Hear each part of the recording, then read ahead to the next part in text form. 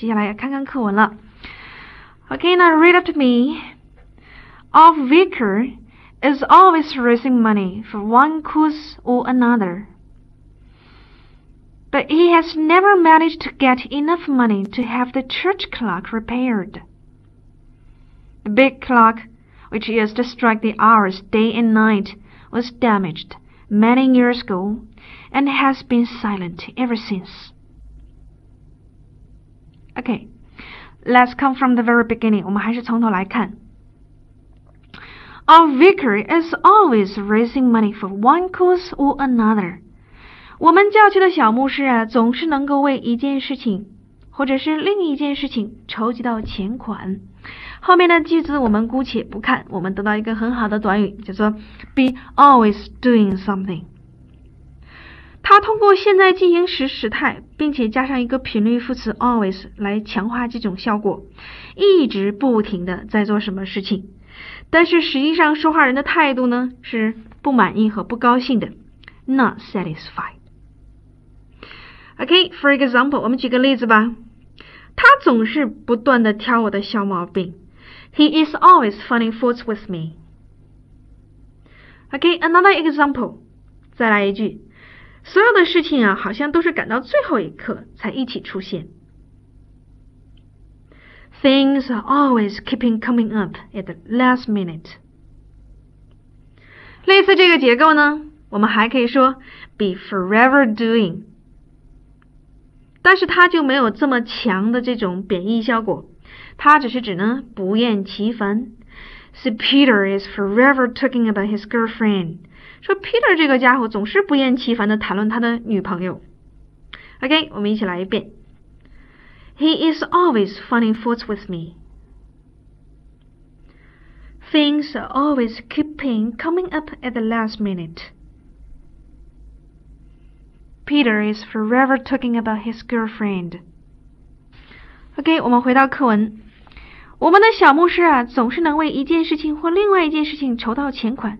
作者故意使用了这样一个句型，be always doing。显然呢，这句话是表达了作者的态度，这说明他对这个牧师是不满意的。后面出现了一个 course，我们来看看这个结构。course 呢，作为名词，指的是原因和缘故。那么哲学上的一对范畴就是因果范畴，叫做 cause and effect。因果范畴。The second meaning of course，它的第二个意思呢，something you support，是指你支持的事业或者是事项、事情。For example, it's for a good cause，这是指做善事。如果你捐了钱之后，神职人员一定会对你说：“嗯，It's for a good cause. Thank you。”嗯，谢谢您做了善事。For one cause or another 是指啊，为了各式各样的事情。类似这样的结构，我们还有 for one thing or another。实际上，这个短语是用来表示原因的。For example, he can't come for one thing or another。字面上说，他呢不能来，是因为这样或者是那样的事情。实际上是说话人不想指明原因是什么。那么我们就不如翻译成由于种种原因，总之。他不能来了。回到我们的课文，说小牧师总是能为各式各样的事情筹到钱。逗号，我们见到了一个 but，一个转折。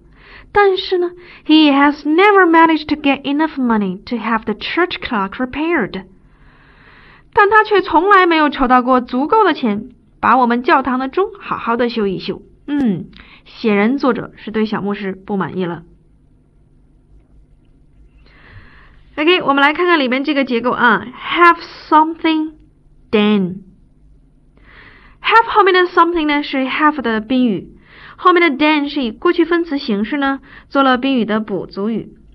字面上说是使之被做，实际上这是一个被动的概念。那么我们翻译成叫什么什么人做什么事情。have somebody do 是另外一个结构。那么在这里面不带 to 的动词不定式 do 又做了 somebody 的宾语补足语，叫做让某人做某事。但是如果你说成 have something to do，这个时候的 to do 又做了 something 的后置定语了，意思是有什么什么事情要做。OK，假如你听到在你开派对的时候，你的一个客人对你说：“I'm sorry, I have another fish to fry。”对不起啊，我还有另外一条鱼等着煎呢。你千万可不要大惊小怪。他的意思是说：“I'm sorry, but I have to go。”他的意思是说：“真是不好意思了，可是我必须要走，可能是有急事儿。”好了，如果你不想告诉主人的话，你还可以说 “take a French leave”。这句话的意思呢，好像是法式离去。大家都知道，法国人呢，在这个十八世纪的时候，似乎有这么一种风俗习惯，喜欢不辞而别。原来 take a French leave 就是不辞而别。赶快，我们来复习一下。I have another fish to fry. Take a French leave. OK，后面我们还见到了 enough money，足够的钱。Enough 这个词呢，可以说是熟词了。我们看看这个熟词有没有新的用法呢？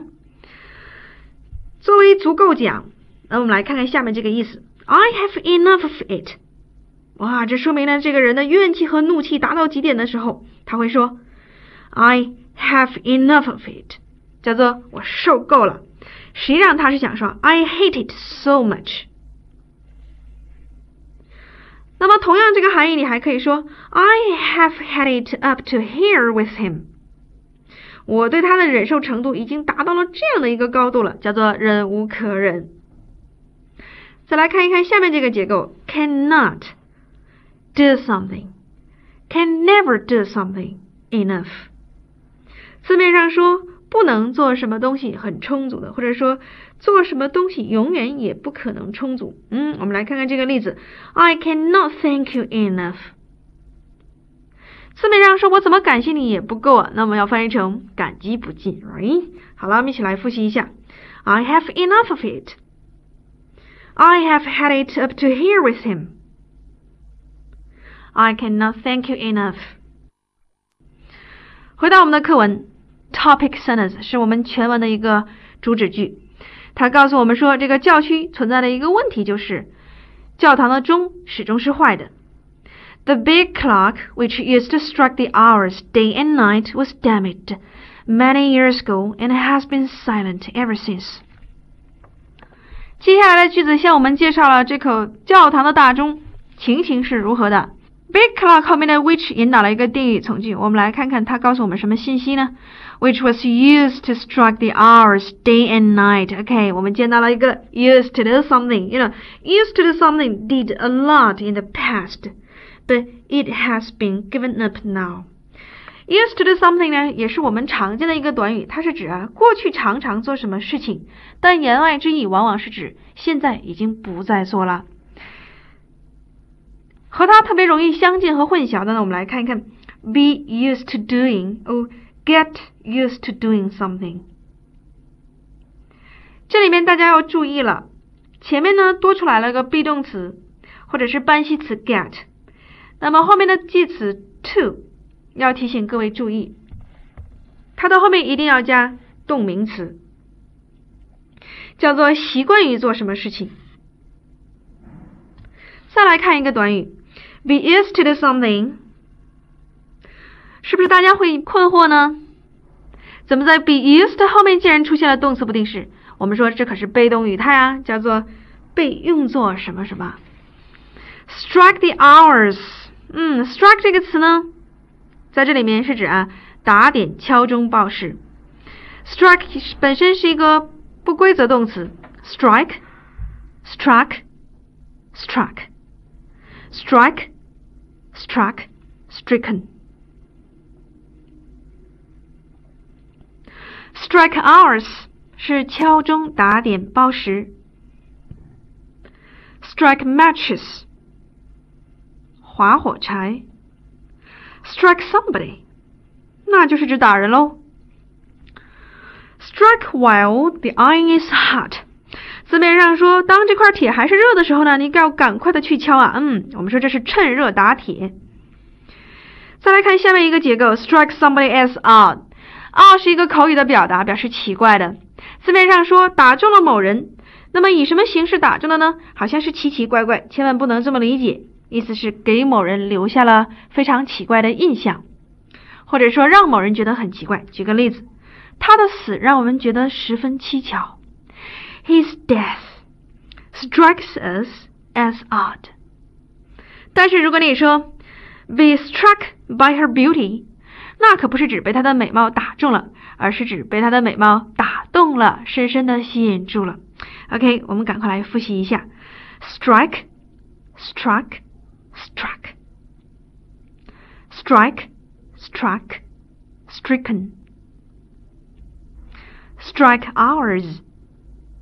：strike，struck，struck，struck，stricken，strike hours，strike matches，strike somebody。Strike while the iron is hot. His death strikes us as odd. Be struck by her beauty.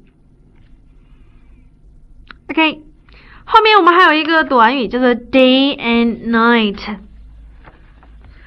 那么在这里呢， 我们要讲一个知识点，就是反义词词组表示对照。通过相反的概念呢，而强调一个整体。Day 和 night 是一天的两个相反的组成部分。那么这一天二十四个小时呢，前十二个小时我们如果能够划分的话，那就是一个 day，是一个白天。那么后面的十二个小时可以划分成 night。所以说这是一个相反的概念，放在一起却强调了整体，那叫做不分日夜，日日夜夜。类似这样的用法，我们再来看一看 up and down。up 是上，down 是下，up and down 叫做上上下下，也是全面的意思。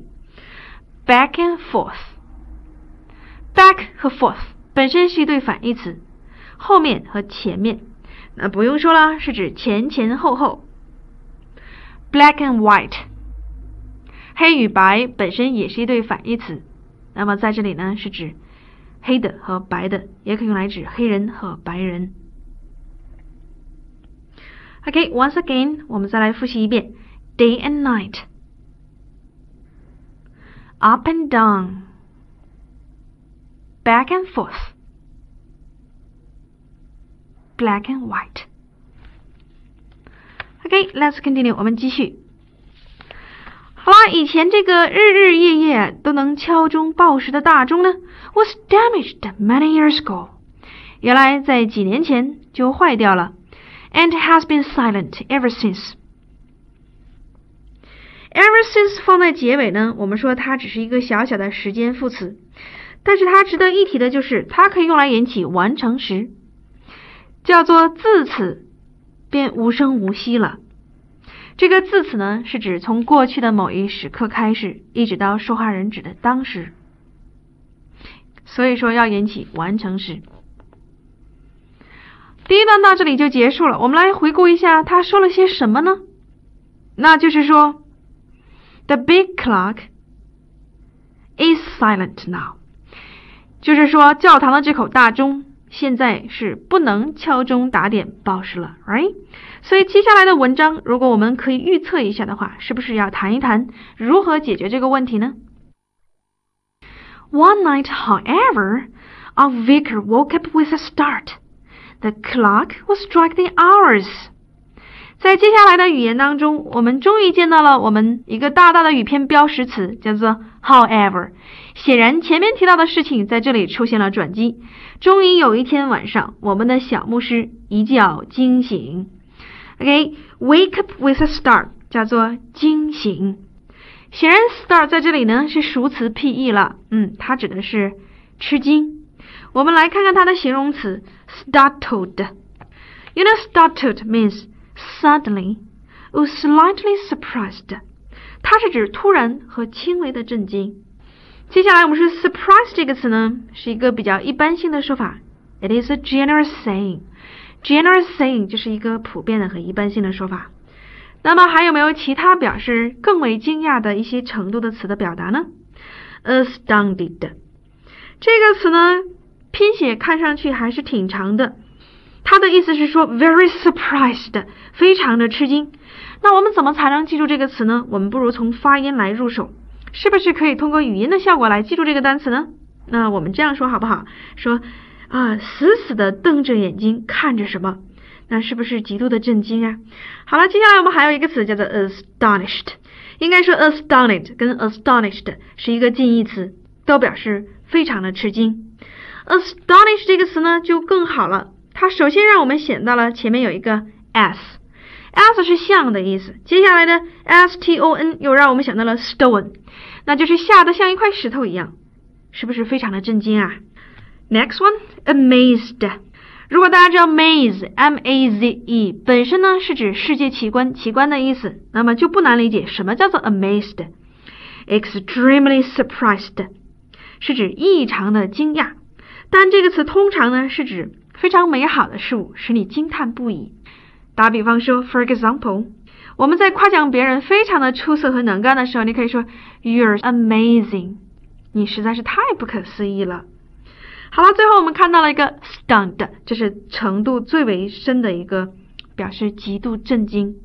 OK，once again，wake up with a start，startled，surprised，astounded，astonished，amazed。You are amazing, stunned. Okay, back to the story. 回到我们的课文。小牧师吃惊的原因是什么呢？ 接下来我们见到了一个冒号，那么冒号的后面呢，也无外乎就是解释和说明的句子了。原因是这样的：The clock was striking hours。原来这口坏掉的大钟竟然能够敲钟打点报时了。Looking at his watch, he saw that it was one o'clock, but the bell struck thirteen times before it stopped. 看了看他的手表，他发现现在才是凌晨一点啊。 但是这个钟呢，却整整敲了十三下才停。OK，大家一定注意到这句话里面的 the bell，bell 本来是指铃的意思。那么通过上下文，我们知道这个 bell 实际上是 clock 的替代性的说法。before 呢，通常是用来引导一个时间状语从句，我们总喜欢把它翻译成它字面的含义，叫做在什么什么之前。那么这句话呢，我们不妨也做这样一个尝试。那么翻出来的中文就变成了。在他停下来之前，他敲了十三下。这样的中文不是不可以接受，但是作者的意图显然没有被突出出来。作者是想强调他整整敲了十三下之后才停。于是我们说，before 呢，在这里面的含义就是指啊，直到什么时候才，或者说足足怎么怎么样才。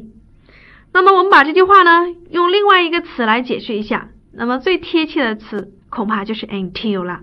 It didn't stop until it struck thirteen times，直到敲了十三下，它才停。OK，好了，关于这个 before，我们给大家一个短语，我们说 before you know it，字面上是这样说的，在你知道之前就怎么怎么样了。So this is spoken English。That means something will happen soon。这是一个相当地道的口语表达，叫做什么事情马上就要发生了。我们举个例子吧，For example。with a better set off, or it will be dark before you know it。我们最好啊，还是赶快出发，因为呢，天马上就要黑下来了。好了，不知道细心的朋友有没有想想，在口语的表达当中，这样的说法也是接受得过去的。但是更为平民化的表达，是不是翻译成这样更好了呢？我们最好马上出发，天说话就黑了，right？OK，once again，我们复习一下，before you know it。with a better set of, or it will be dark before you know it. 好了，小牧师被惊醒了。那我们看看他接下来做了一些什么事情呢？Armed with a torch, the vicar went up into the clock tower to see what was going on. Armed 在这里呢它尽管以 ed 形式结尾，但是大家不要把它看成是过去分词做伴随状语，我们要把它看成是表示状态的形容词。那就是说，拿着手电筒，这个小牧师呢就上了这个塔楼。上了塔楼去干什么呢？To see what was going on. OK，what's going on 是一个比较口语化的表达，叫做出什么事儿了。嗯，大家要把这个句子记下来，不要再像我们以前会问 What's the matter？啊，我们要说 What's going on？这是一个更贴切的、更亲切的口语表达。更为省略的表达，你完全还可以说 What's up？What's up？那么在现代英语里面，更时髦的说法，那就是 What gives？What gives？这是一个非常熟人之间的一个表达。嗯，怎么了？你有什么事儿吗？好了，接下来我们来看看我们怎么回答呢？如果你的回答是嗯没什么，嗯，我们要说呃 nothing much，not much。OK，once again，我们赶快来复习一下：What's going on？What's up？What gives？Nothing much，not much。OK，back to the story，回到我们的课文。小牧师就上去看个究竟了。In the torchlight, he caught sight of a figure whom he immediately recognized as Bill Wilkins of local grocer. 非常有意思的就是下面这个借编短语 in the torchlight，大家都看得很清楚啊。那么我相信不少的中国学生会这样翻译说，在手电筒的光里。嗯，不知道大家有没有想过，这可不是我们地道的汉语。In the torchlight 应该翻译成借着手电筒的光。 好了，打比方说借着月亮光应该怎么说呢？In the moonlight。Good，OK。好，如果你走在马路上，有人挡了你的去路，这个时候我们要说借光劳驾。这个时候应该怎么表达呢？Excuse me，right？好了，说到这个借光啊，我觉得让我想到了一个笑话。这个中国留学生刚到了这个美国，去美国的美国人家里做客的时候呢，他们想借用一下主人的卫生间，于是他就说出了这样的一句英语，叫做 “May I borrow your bathroom？” 哇哦，You know, you can imagine how surprised those Americans are。你完全可以想象那些美国人的惊讶。大家知道，borrow 呢是借，这个借呢是指借钱的意思啊。那这句话说出来之后，好像是我要把你的卫生间借走。OK，闹了不少的洋相和笑话啊。那么这句话到底应该怎么说呢？我们首先来理解一下，我可不可以借用你的卫生间呢？原来这个借啊是指借用的意思。那我们要说成 May I use your bathroom？Okay，once again，in the torchlight，in the moonlight，excuse me，May I use your bathroom？OK，希望大家以后不要出类似的笑话。He caught sight of a figure。嗯，借着手电筒的光呢，他就 caught sight of a figure。我们来看看这个短语啊，catch 本来是抓住的意思，sight 是指目光，那么就是目光抓住了什么，我们就叫做一眼瞥见了，一下子瞅见了，一下子看见了。好了，关于 sight，我们再给大家一个短语，叫做 insight。这个短语实在是太形象了。什么东西呢？出现你的视力范围之内。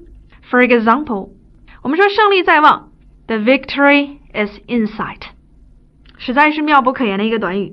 后面我们说两个人呢一见钟情，一见钟情就是指第一眼看到了就互相爱慕，say fall in love at first sight。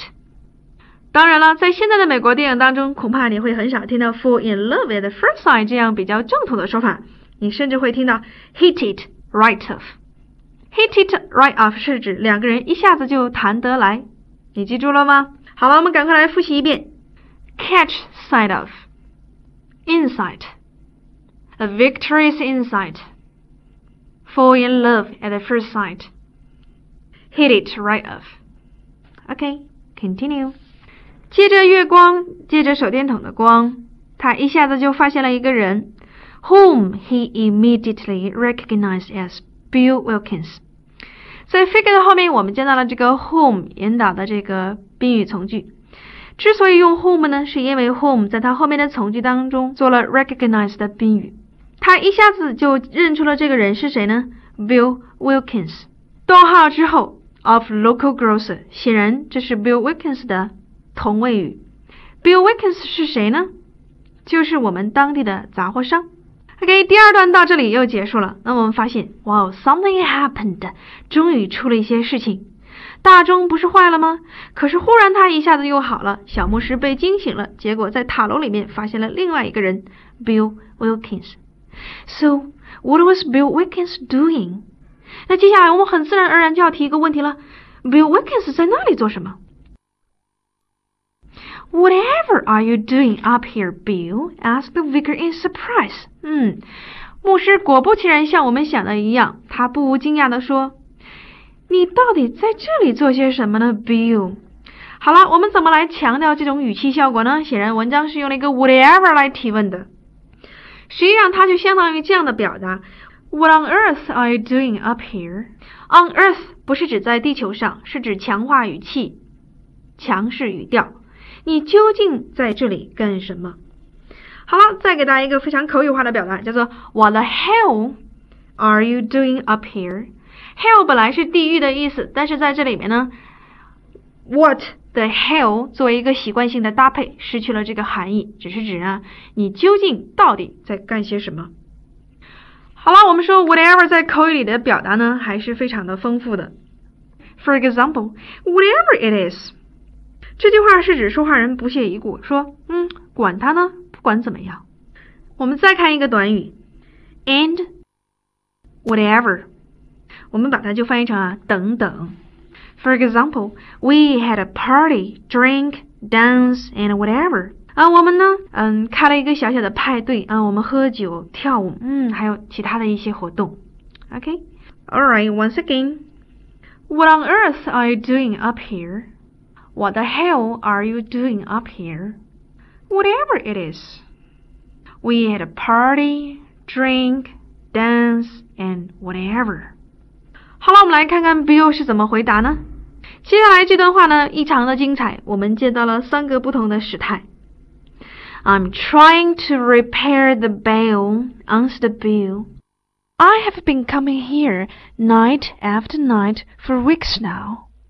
You see, I was hoping to give you a surprise. Okay, I'm trying to repair the bell。我呢一直想把这个钟修好。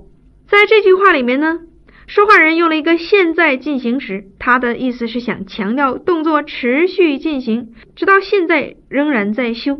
那么言外之意恐怕是还没修好。第二句话说，I have been coming up here night after night。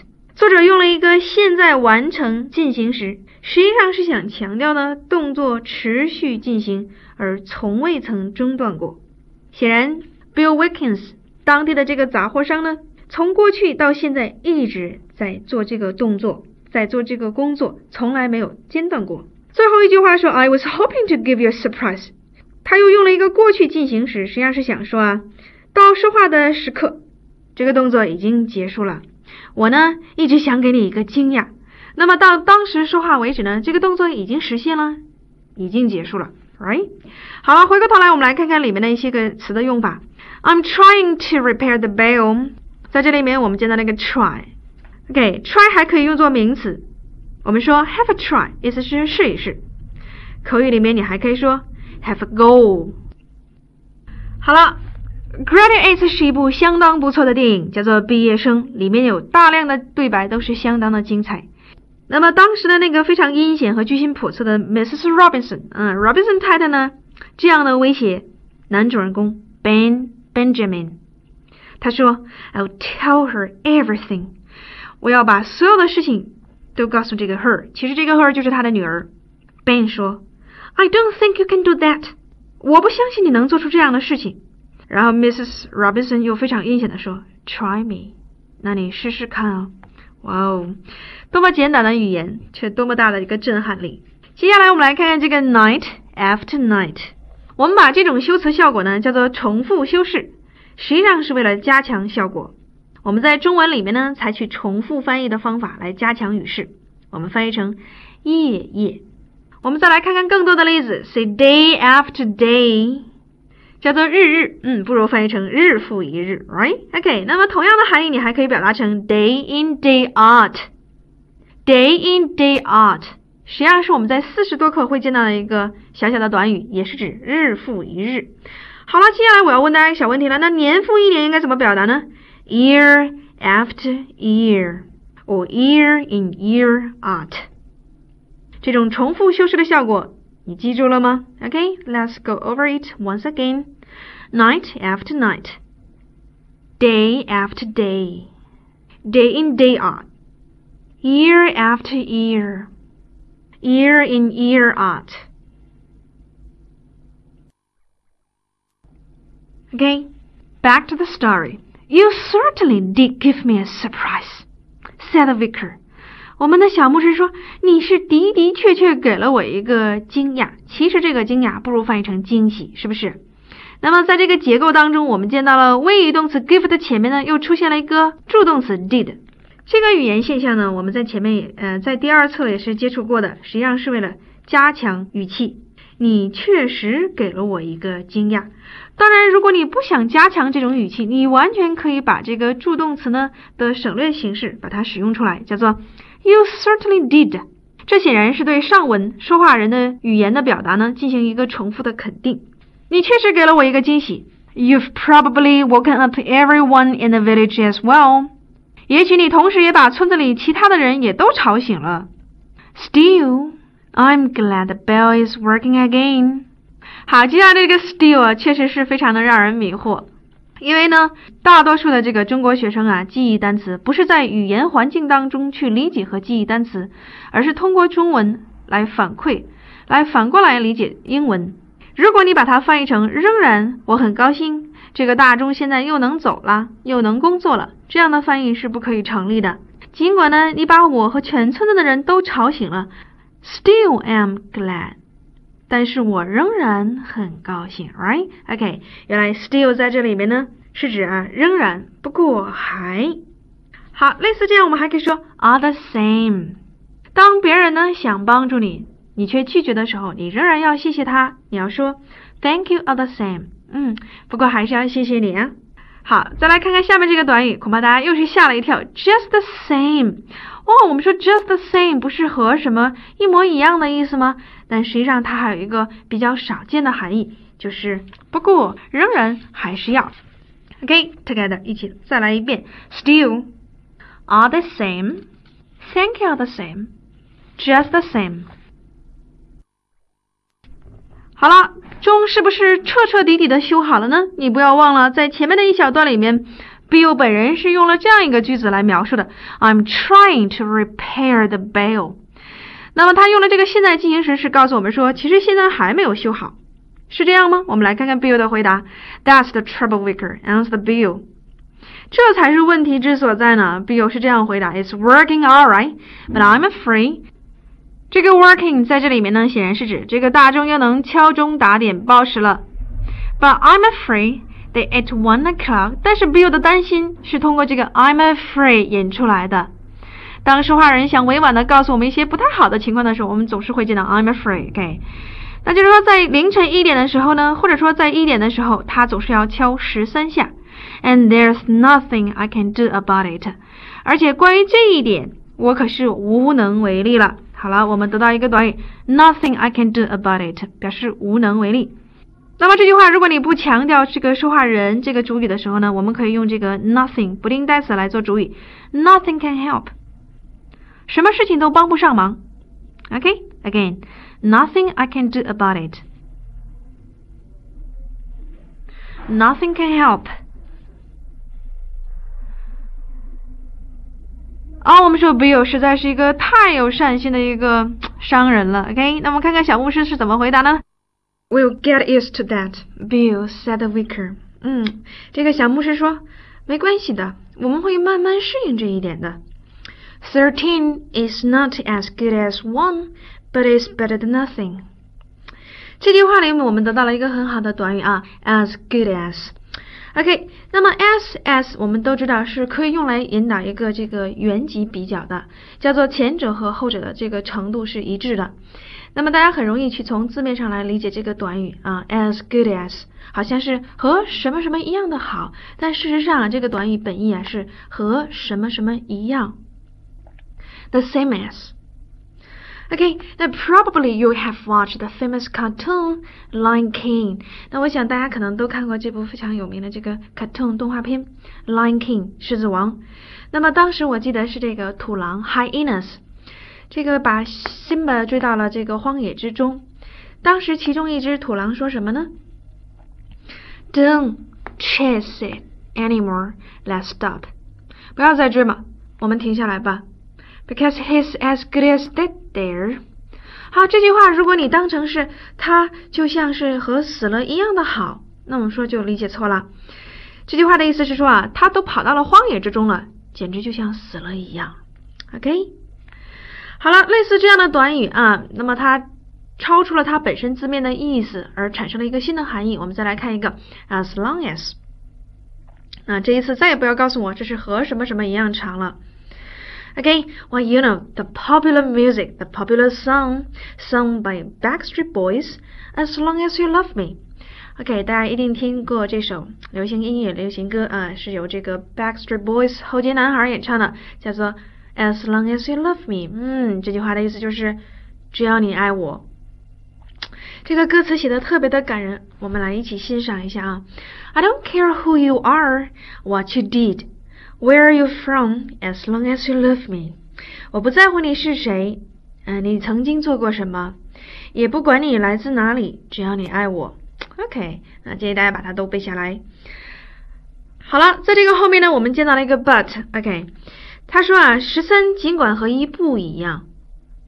当然，在我们这个语境下，我们完全也可以这样理解：说十三呢，尽管不如一那么的好，但是呢，it's better than nothing，总还是比没有强的多呀。好了，我们来看看这个 better than，那么这显然是一个比较级了，前者要好于后者。所谓 better than nothing，叫做总比没有强的多。好，我们再来看一个短语吧，better late than never。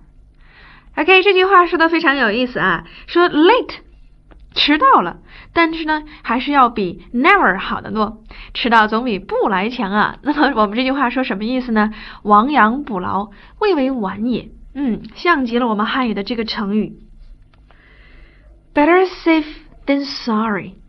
这个成语呢，本来是指啊形容避雷针这种东西，这种装置啊。那么当时呢，这个美国的广告商为了建议所有的家庭呢都要安装这种避雷针，于是就打出了这么一条广告用语，说啊，better safe than sorry，说为了安全起见，总比到时候您后悔强。意思是快来买我们的避雷针吧。嗯，OK，接下来我们还有一个非常有意思的句子，莎士比亚是英国的大文豪啊。他的著名的喜剧之一有一部《Twelfth Night》，也就是第十二夜。那么在十二页里面，这部剧目里面，莎翁有一句非常了不起的名言，叫做 “Better a witty fool than a foolish wit”。我们来看看到底是什么意思。前面呢用了一个 “a witty fool”，fool 当然是我们说的这个蠢人啊、愚人的意思。但是 witty 呢却是一个相反的概念，是指那种。啊，诙谐、幽默、机智的。那么，什么叫做 a witty fool 呢？是指那种聪明的愚人。好了，原来沙翁说啊，一个聪明的愚人呢，要比后面那种所谓的呃愚蠢的智人要好得多。我们叫做，与其做愚蠢的智人，不如做聪明的愚人。这句话是非常耐人寻味的。OK，好了，我们赶快来把这几个短语在一起重复一遍。OK，once again。Read up me. Better than nothing. Better late than never. Better safe than sorry. Twelfth night. Better a witty fool than a foolish wit. Alright, let's come back to the story. 回到我们最后的课文啊。Now let's go downstairs and have a cup of tea。嗯，小牧师说：“走，咱俩下楼怎么样？去喝杯茶吧。” OK，我们来看看这个 have a cup of tea。实际上，我们说啊，a cup of tea 也是一个短语。